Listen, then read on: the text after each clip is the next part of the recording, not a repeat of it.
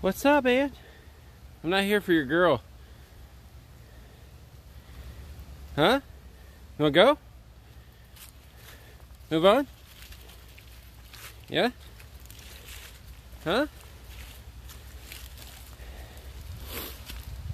Sorry to bother you, man. Oh, there we go. I see. You got some friends.